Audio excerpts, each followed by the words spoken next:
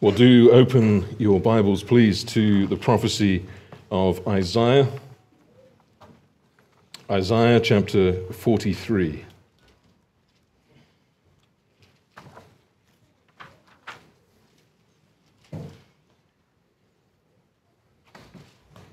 Isaiah 43, and we're just going to read the first four verses.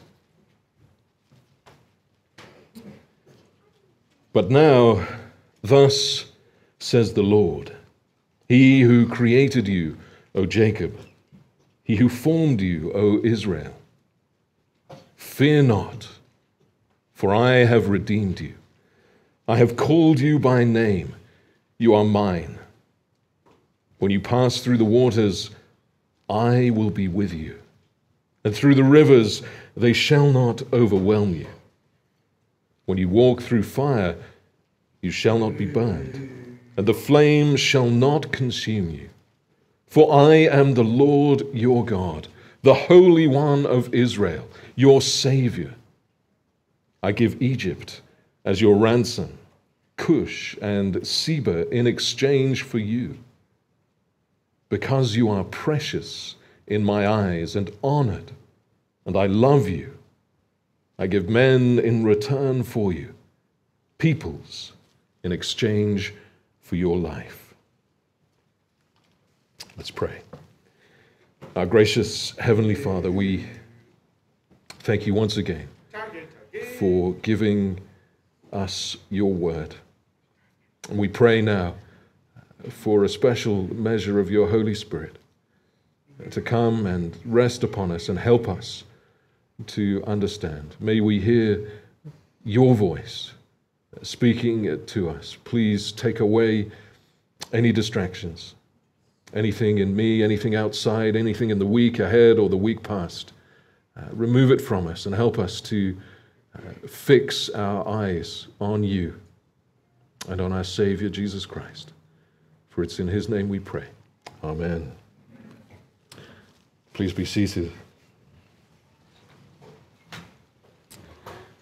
Well, this morning we're coming back once again uh, to this wonderful Old Testament uh, prophecy. Um, perhaps you might be able to figure out what my favorite Old Testament prophet, or rather, who my favorite Old, Old Testament prophet is. But just to refresh your, your memories from, from the last time, let me give you some very brief uh, background information. If you turn all the way back to the very first chapter and the first verse of this book, you'll see the author um, and some information about the date when, when this prophecy was written down. So the first verse says, The vision of Isaiah the son of Amos, which he saw concerning Judah and Jerusalem in the days of Uzziah Jotham, Ahaz, and Hezekiah, kings of Judah. So the author then is Isaiah, son of Amos, and he lived and ministered in Jerusalem, in the city and in the surrounding areas. And really, Isaiah's main concern, his, his heartbeat, if you like, is, is the glory and majesty and splendor of God. And so he's not really too concerned uh, about giving much by way of personal uh, biographic information. We do know um, roughly the, the year in which he was called uh, to ministry. We see that in chapter 6. In the year that King Uzziah died, that was around 739 BC. And he, he carried on ministering for just over 50 years uh, until around 686 BC. And Isaiah um, is one of the most, if not the most, expressive uh, prophets in the whole Bible. He uses a wonderful range of language to express God's message to his people. And again, just in the, in the few verses before us this morning, we've got some vivid uh, picture language floods, waters, rivers, uh, fire, flames. We've got the, the wonderful, beautiful ideas of redemption and ransom, of preciousness and love. And so the whole prophecy is like, a, like an intricate tapestry that weaves together poetry and song and history and theology to form a masterpiece that, that just beckons us to explore the wonders of God's plan for his people. Isaiah can be divided up and, and outlined in various different ways. One way that I found helpful to think of is uh, to think of it as containing three books, if you like. Uh, so, chapters 1 through 35 form the first book, and we could call that book the book of judgment. Verse 4 of chapter 1 sums up the charges against Israel. They have forsaken the Lord, they have despised the Holy One of Israel.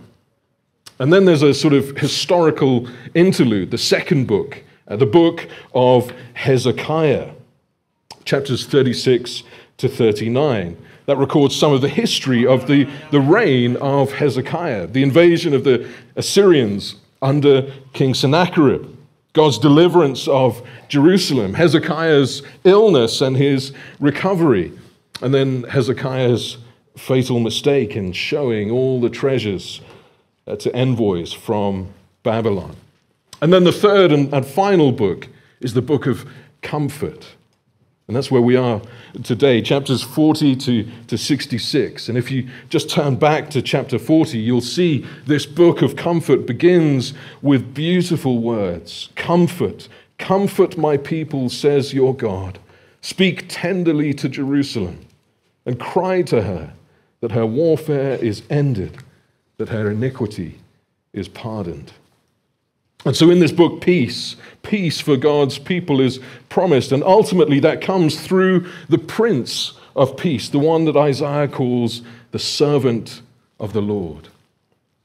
And it's, it's a message of comfort that I, that I want to bring to you this morning. So, coming back to, to our chapter, you'll notice that the section we read together begins with, but now. But now. And this really ties it back to uh, the chapter that comes before, chapter 42. Isaiah there reminds Israel of their stony hearted rebellion against Almighty God. Verse 24 they, they would not walk in God's ways. And even though they, they felt the fierce wrath of God, they were stubborn and would not take to heart what God was teaching them. So he poured on them the heat of his anger and the might of battle. It set him on fire all around, but he did not understand. It burned him up, but he did not take it to heart. And so you'd think it would follow that God would, would just utterly abandon them and destroy them. But no, we have that that wonderful little word, but. And here the, the mercy and grace of God shines out. Matthew Henry uh, comments here. He says, Now the sun breaking out, thus of a sudden, from behind a thick and dark cloud, shines the brighter and with a pleasing surprise. The expressions of God's favor and goodwill to his people are very high and speak abundance of comfort to all the spiritual seed of upright Jacob and praying Israel. For to us is this gospel preached, as well as those that were captives in Babylon. And so we're reminded here wonderfully of the truth of Isaiah 55, 8 and 9, that, that God's ways are not our ways, that his thoughts are not our thoughts. Jesus told a parable, didn't he, that captures really the heartbeat of this truth. We often call it the, the parable of the prodigal son. So, a son uh, of a wealthy father demands his inheritance early, and, and he runs away and wastes it on riotous living, on, on drink and whores and parties. And soon he's, he's spent all that he has, and he finds himself feeding pigs of all animals. So hungry that he's contemplating even eating the, the pig food. And as he's there in this filth and squalor, he comes to his senses and he realizes that even the servants in his father's house are treated better than this. And so he decides to, to return, to go back to his father and ask if he can live in his house again, not, not as a son, but as a, as a servant. And in verse 20 of, of Luke chapter 15, we have these astonishing words. But while he was still a long way off, his father saw him and felt compassion and ran and embraced him and kissed him. The father runs to his wayward son. And this is the truly standout, shocking part of the story. See, fathers did not run in those days, it was not the proper thing for the patriarch to do. And this is where we see the shocking mercy that God has for his people. Perhaps we should call this parable the parable of the running father. And instead of treating his son the way that his sin deserves, he has compassion on him. He embraces him. He throws a huge party for him. He puts new clothes on his son and a, a ring on his finger. And so, why does the father behave like this? Well, because this father is a wonderful, beautiful picture of our heavenly Father, the one whose ways are not our ways, the one whose thoughts are not our thoughts. This God is an infinite ocean of mercy. He's the one who rejoices before the angels when a single sinner repents. He's the one who the prophet Zephaniah says will rejoice over you with gladness. He'll quiet you by his love. He will exult over you with loud singing. So when you go to him, having messed up again, having sinned in the same way again, needing his forgiveness again, needing to be cleaned up and washed again, well, he receives you with gladness. He rejoices to hear you repent. Boys and girls, how big is God? How big is God? What do you think? Well, it's a kind of a it's kind of a trick question, isn't it? Because God is omnipresent. He is everywhere. There's nowhere that you can go that God isn't. So God is big. He, he's bigger than we can possibly understand. But you know, you know what? The Bible tells us that this enormous, huge, vast God is full of mercy and compassion. How much mercy is that if God is infinite? If there's nowhere you can go where He isn't, how much mercy does He have? Well, He has infinite, everlasting mercy. And this, this is the God who speaks to us in our passage this morning. He's the one with the message of comfort for our souls. He is the one who says to us this morning, Fear not. Fear not. Aren't they the words that we so often need to hear? Fear is perhaps the strongest human emotion. It can leave us utterly uh, paralyzed. It can prevent us from, from doing the things that we know we should do. It, it can drive us to do the things we, we know we shouldn't do. It stops us from, from thinking clearly. It causes us to doubt the things we thought were true and to believe the things we thought were lies. But this morning, I want us to see three certainties from this passage that can act as an antidote to our fear. So, first, the certainty of redemption. Then the certainty of trial. And third, the certainty of God's love. But before we come to, to our first point, I just want to answer very briefly an objection that might be raised at this point. Someone might say to you, someone might say to me, why are you taking words that were spoken by an Old Testament prophet to Israel and transplanting them thousands of years to us now here in the 21st century. In other words, what grounds do you have for taking promises that were made to Israel as our own?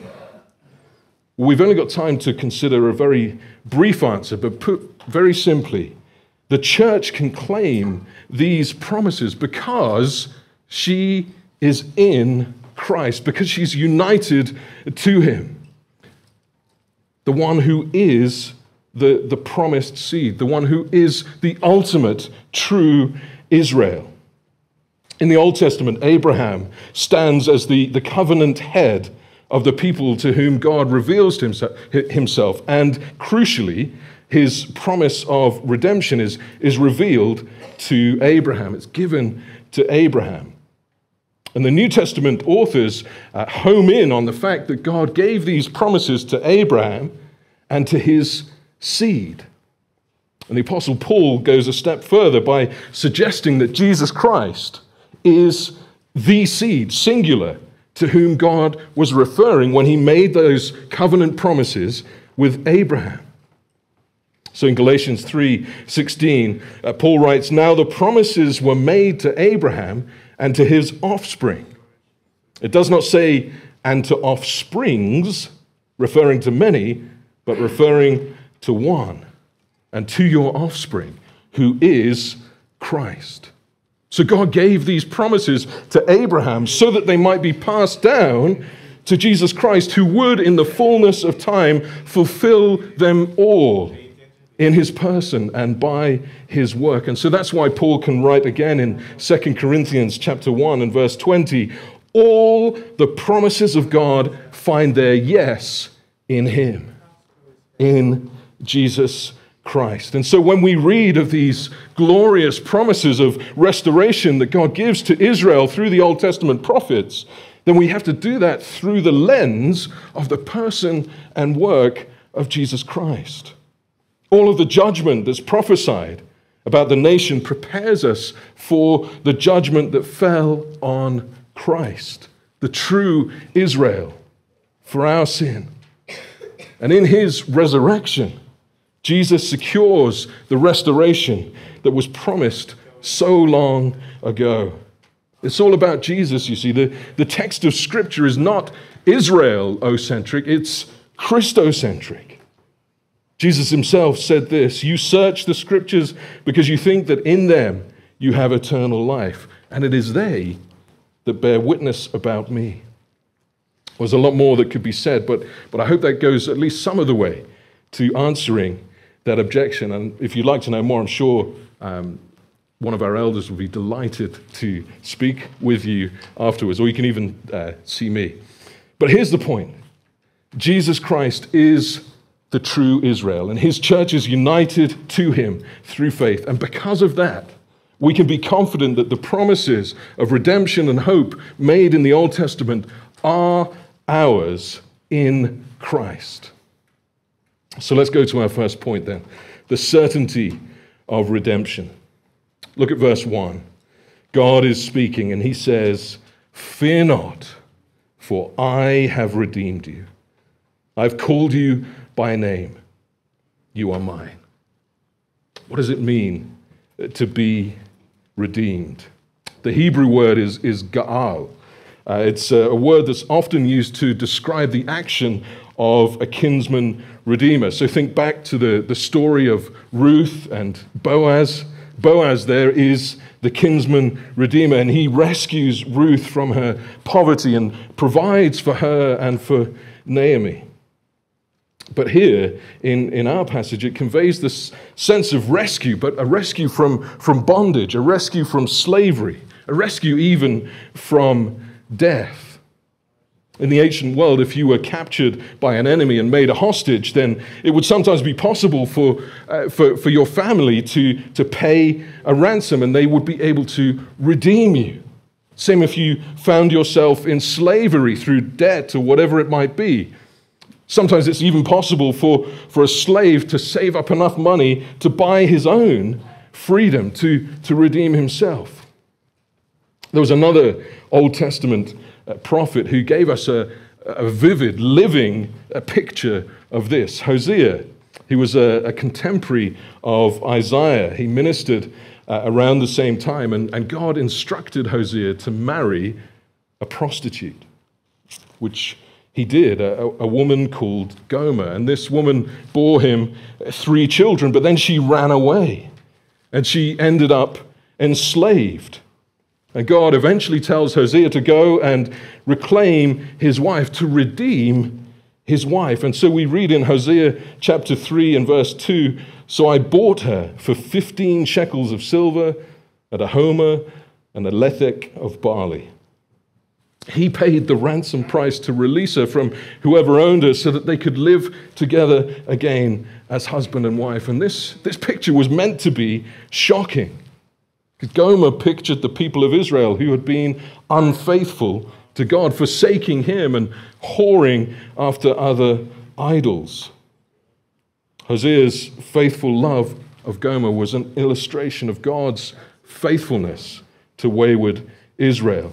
Just as Gomer had been unfaithful to her husband and had to be redeemed, Israel needed God's initiative to restore their relationship.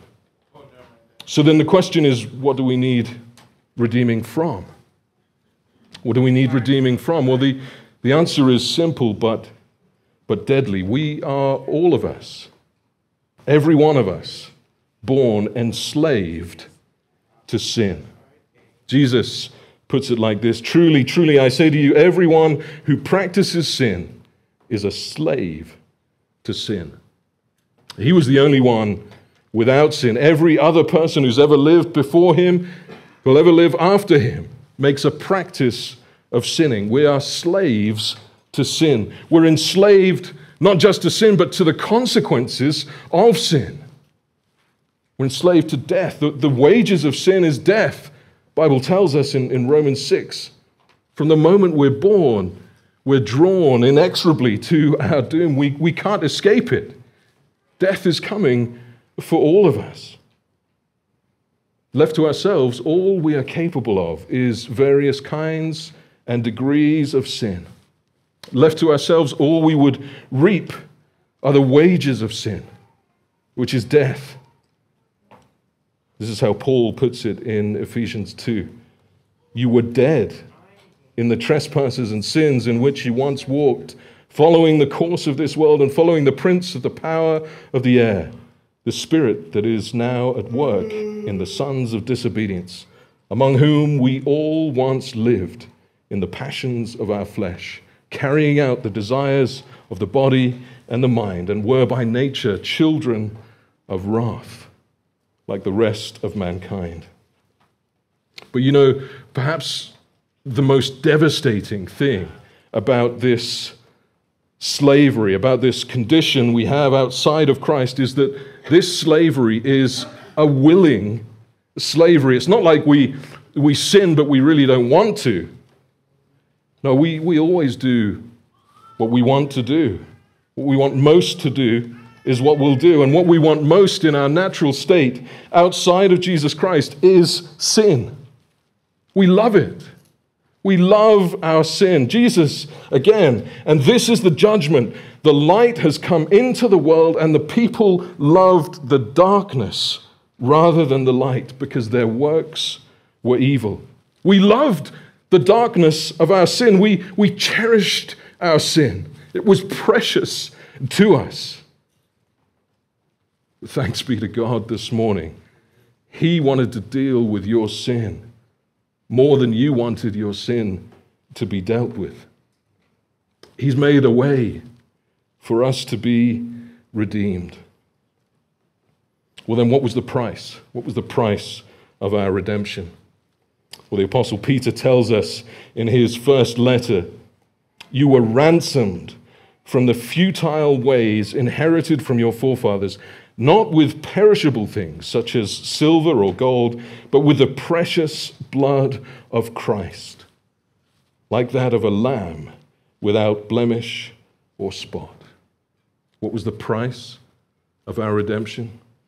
Well, it was the precious, precious blood of Jesus Christ.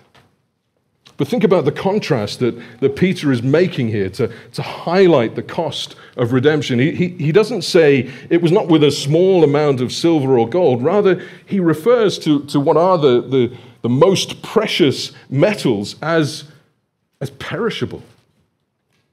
They are, in their essence, not in their quantity, inferior to the precious blood of Christ. So it's not that Christ's blood is worth a lot more than these metals It's not comparatively more valuable, it's altogether different.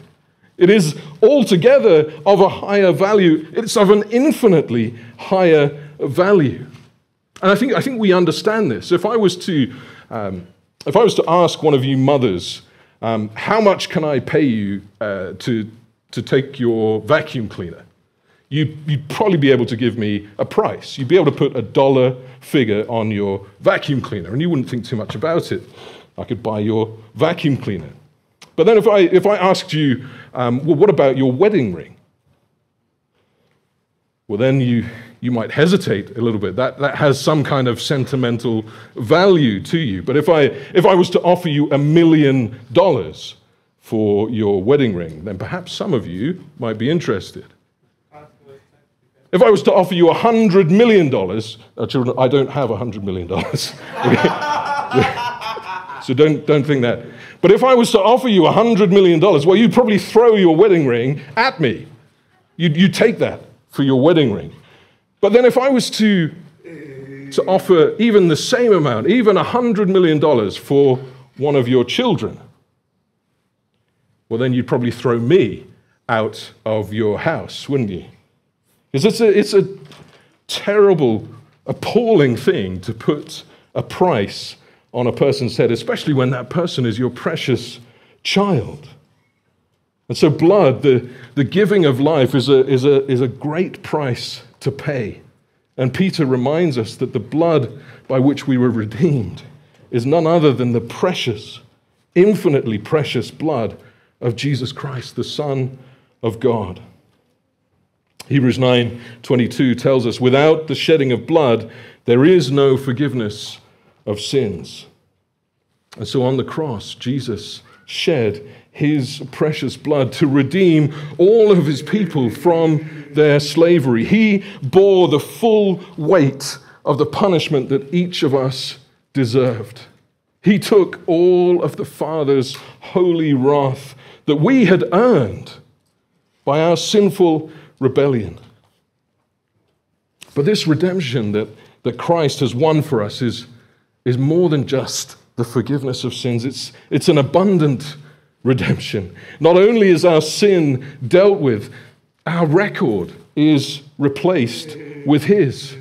And so every single righteous action that he took whilst he lived here on earth, every temptation that he defeated, every trial that he endured perfectly is credited to us.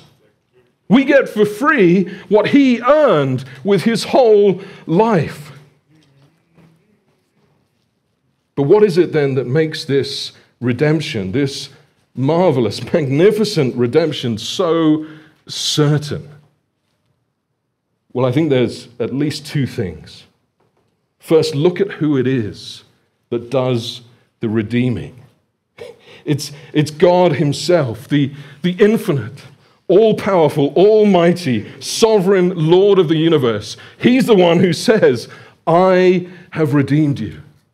The God who knows every star and every planet in every single galaxy because he made each one says, I have redeemed you. The God who controls every tiny subatomic particle, the one who holds everything in place, says, I have redeemed you. The God who determines every single event of history, the one who raises up rulers and casts them down, he's the one who says, I have redeemed you. He's done it all. He's finished the work. And so we, we surely have no need to fear. This redemption could not be more certain. But then, second, notice at the end of verse 1, God says, I have called you by name. You are mine. This is not some sort of random, indiscriminate act. This is not Oprah Winfrey saying, You get a car, you get a car, everybody gets a car. That's, that's not what's going on here. No. God calls you by name. Each one of his precious people is called to him by name. And he makes them his own. He gives them a new name, as it were. He makes them part of His family. Because of the infinitely valuable work of Jesus Christ, we're adopted into God's own family. We become co heirs with Christ. He is our awesome older brother. So then, precious child of God, fear not. Fear not. Your redemption is certain. Fear not. God has called you by name. Fear not. You belong to Him. But now look at verse 2. I want us to see the certainty of trial. And this, this verse is one of those really puzzling verses that we come across sometimes in Scripture that can be simultaneously incredibly comforting to us, but also utterly terrifying. Incredibly comforting, utterly terrifying. That's what we've got in this verse. When you pass through the waters, I will be with you, and through the rivers, they shall not overwhelm you. When you walk through the fire, you shall not be burned, and the flame shall not consume you. So notice what God says. He says, when. When. Not if. When. When you walk through the waters. When you walk through the fire. That's the terrifying part in this verse. That, that's the certainty of trial.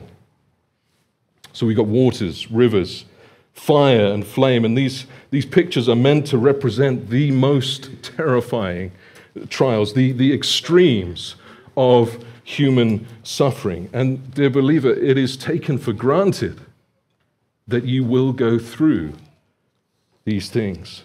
There's, there's no bridge in this verse. There's no boat in this verse. There's no tunnel for you to go underneath these waters. You have to go through them.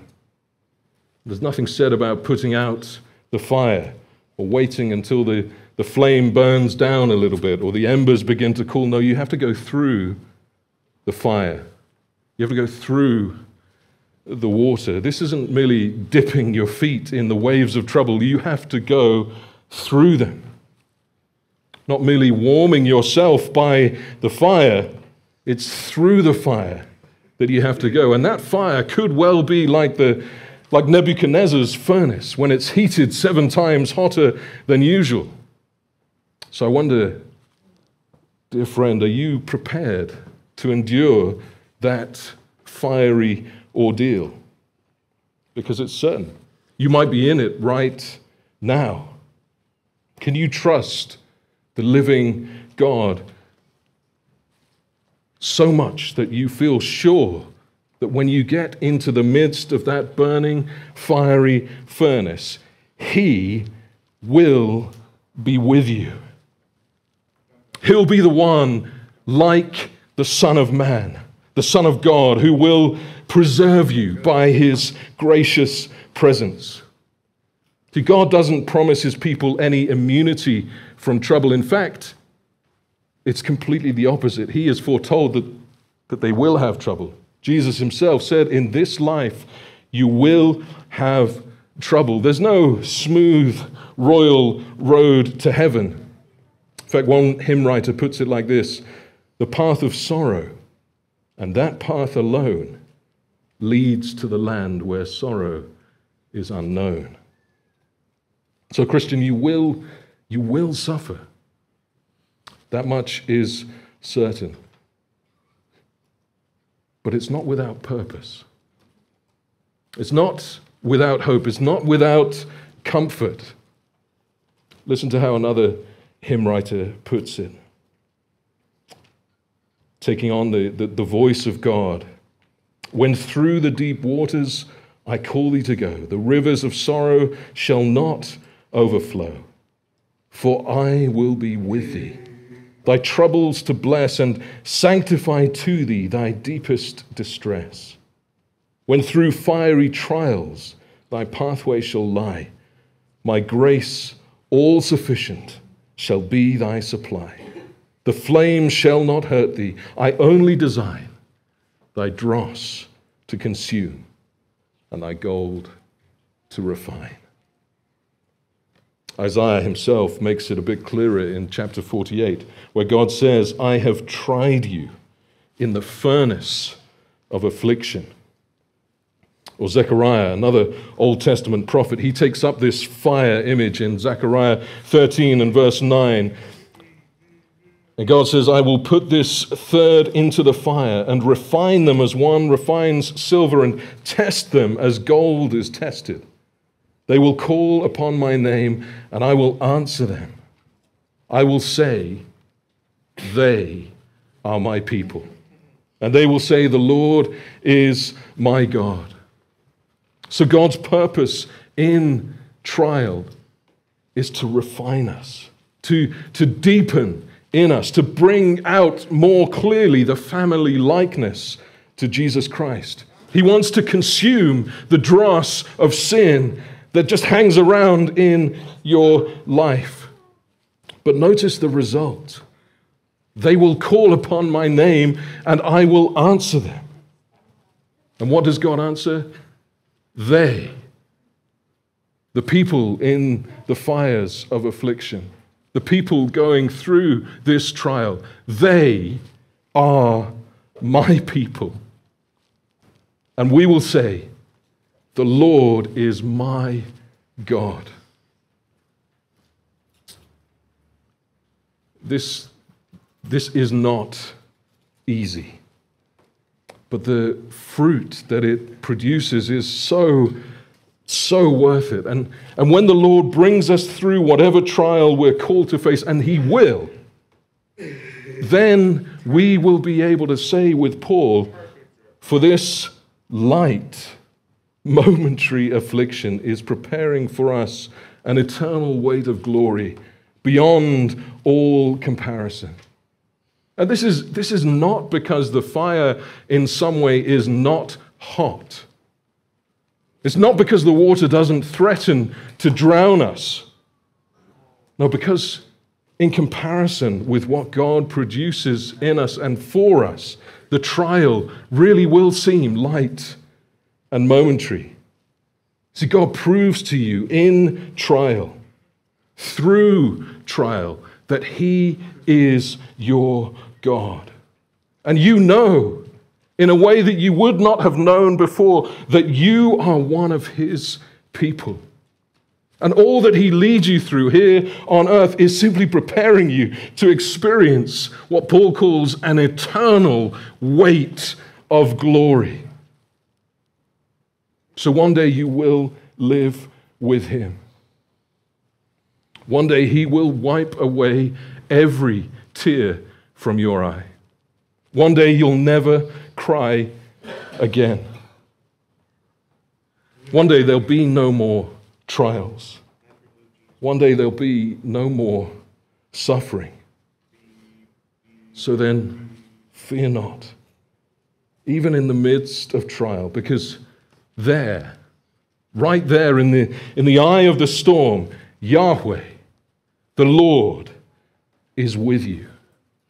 The God who is merciful and gracious, slow to anger and abounding in steadfast love and faithfulness, the God of everlasting covenant, He is with you.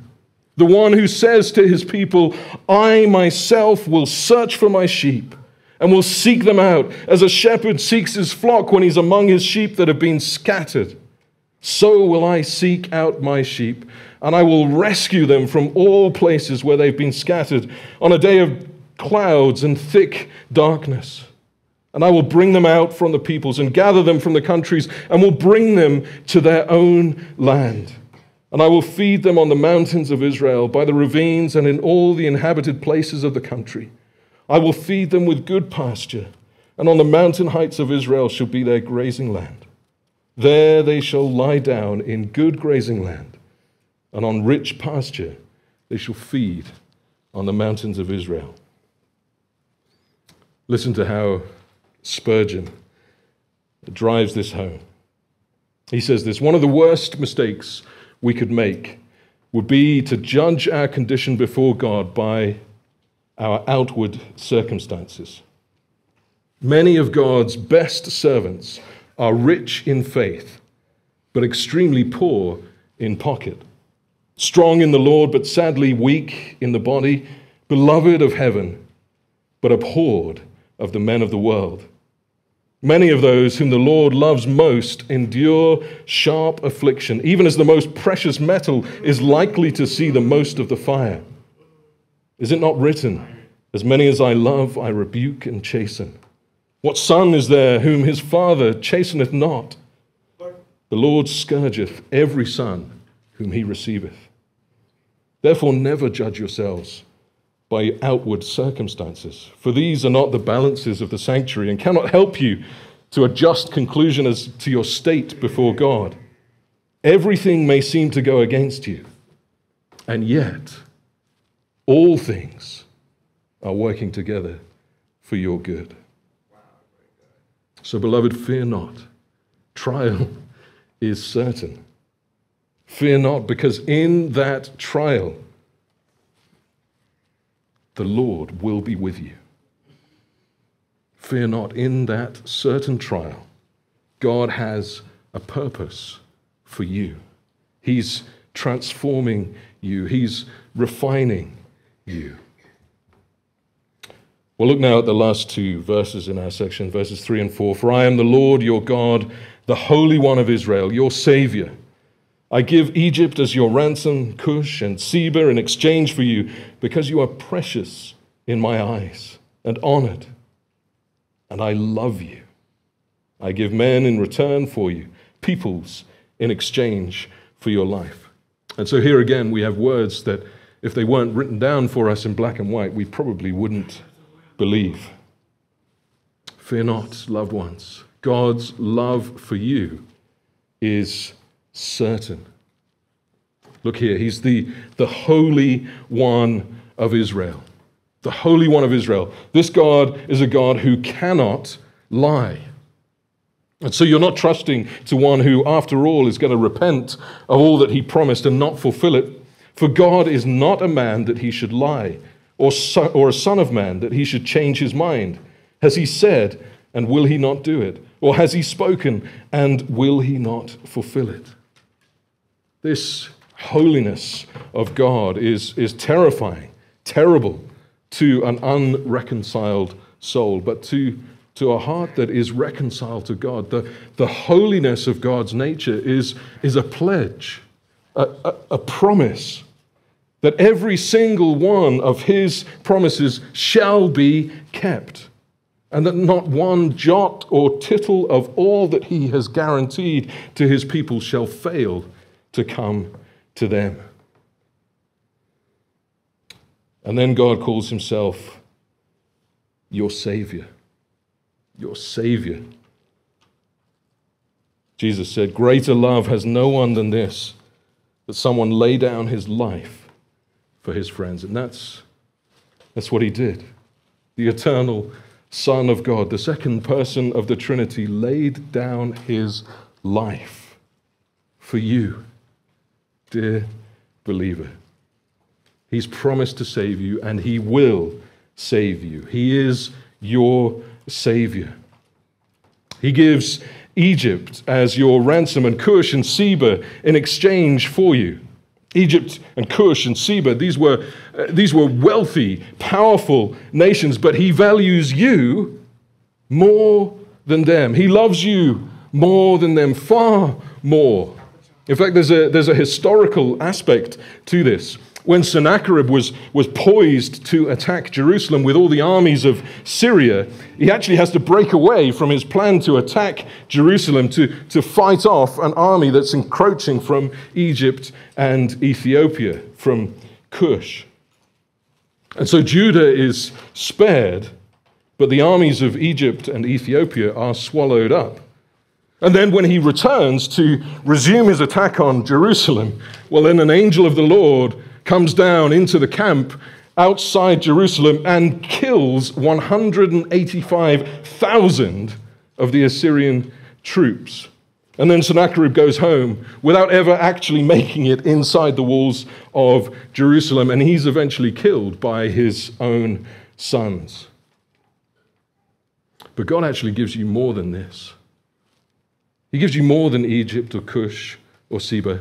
Far, far more, as we've seen. He gave his only son as a ransom for you, Christian.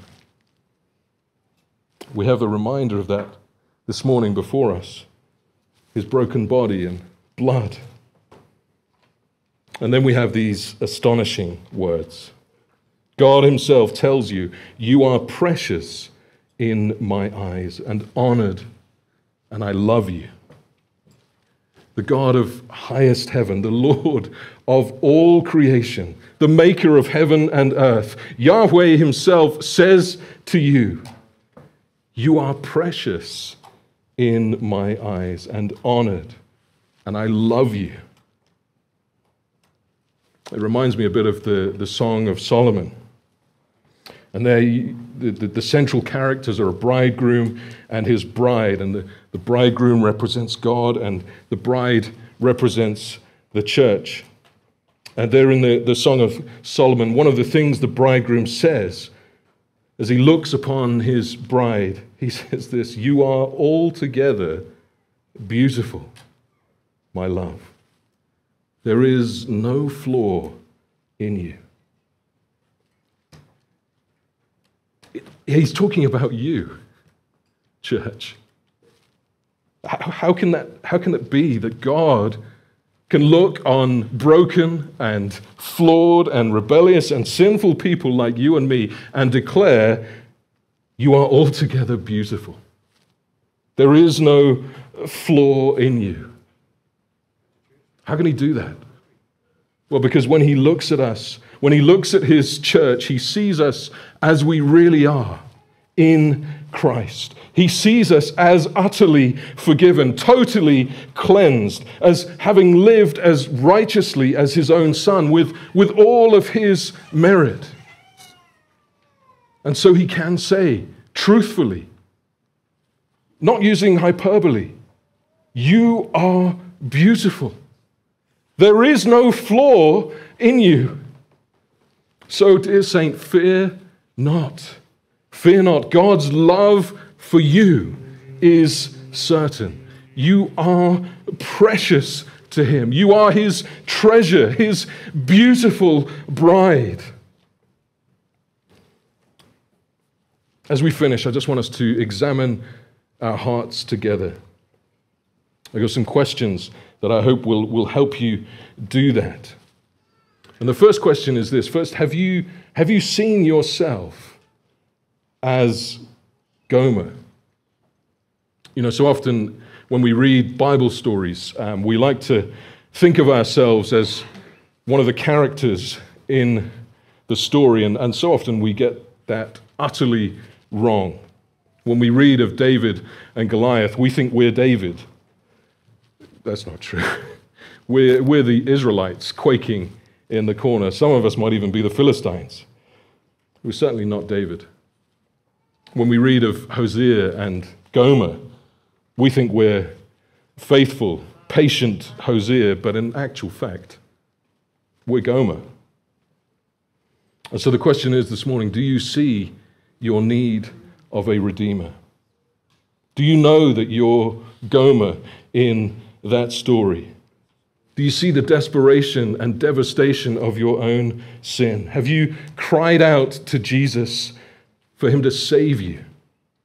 Have you humbly begged him for forgiveness? Have you confessed with your mouth that Jesus is Lord? Have you believed in your heart that God raised him from the dead? Well, if you have, if you know Jesus is your Redeemer, then my question this morning is have you not proved in your life thus far, over and over, that He has been with you in every trial. He has sustained you. And if the Lord has dealt this way with you up until now, what can you possibly fear for the future? Well, you might say, but I've never been this particular way before. I know you haven't. But God has been with you all the way you've already come. And every way you already came was new to you until you came to it. And in everything, the Lord helped you. Why should He not help you now and in the future? You might say, well, there'll, be changing circumstances. Well, yes, there will. There will indeed be changing circumstances, but there will not be changing promises. Perhaps you say, well, I'm so changeable myself, I, am so inconstant. Well, that may well be true. But do you find any change in the Lord? That's where your confidence is to be placed in the Lord, not in yourself. So, friends, fear not. Your redemption is certain. Fear not, your trials are certain. But in it and through it all, God's love for you is certain. Let's pray.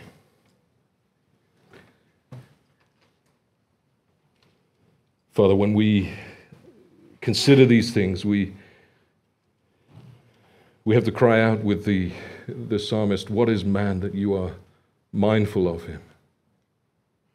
We're astounded that these things are true of us in Christ Jesus. We pray that you would drive these truths into our hearts, that they would sustain us through whatever this coming week brings, that we would know with absolute certainty we are redeemed, that we would know that whatever trial we face, you are with us, and that in that trial, especially in that trial, you love us. You have purposes for us beyond what we can possibly imagine. So please comfort us this morning and sustain us throughout this coming week. For we ask in Jesus' name. Amen.